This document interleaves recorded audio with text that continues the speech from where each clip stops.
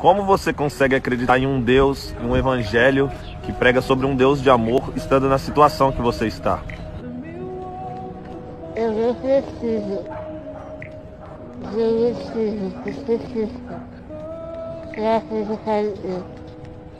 Eu não preciso que Ele faça alguma coisa que as pessoas acham que Ele tem que fazer para eu acreditar que Ele é bom, para acreditar que Ele é amoroso.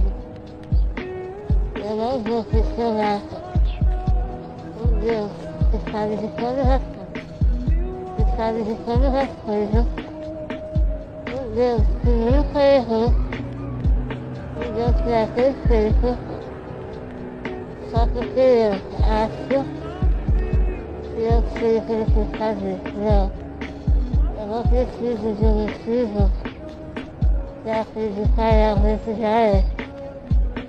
Eu posso ver a bondade de Deus simplesmente não é que eu respiro. E isso é suficiente para mim. Eu tenho todos os motivos para não acreditar em Deus.